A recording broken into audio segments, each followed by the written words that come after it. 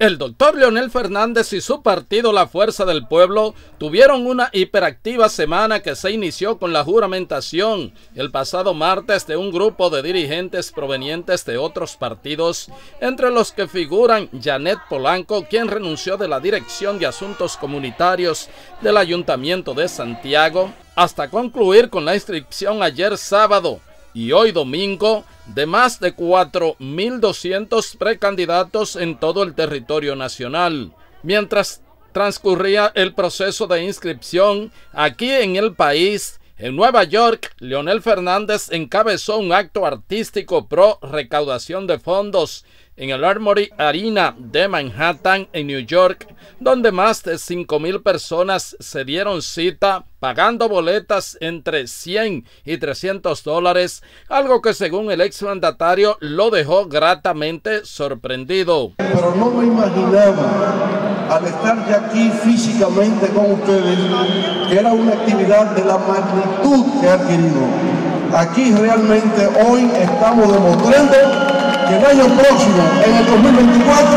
la fuerza del pueblo va a dirigir los destinos de la República Dominicana. En tanto que entre ayer sábado y hoy domingo, en un ambiente festivo, 4.244 precandidatos a distintos cargos electivos se inscribieron en todo el territorio nacional por lo cual se conglomeró una gran cantidad de militantes en todos los locales de la Fuerza del Pueblo, lo que fue calificado por Henry Merán, titular de la Secretaría de Asuntos Electorales de esa entidad, como un rotundo éxito. Como bien ha sido testigo el país y ha recogido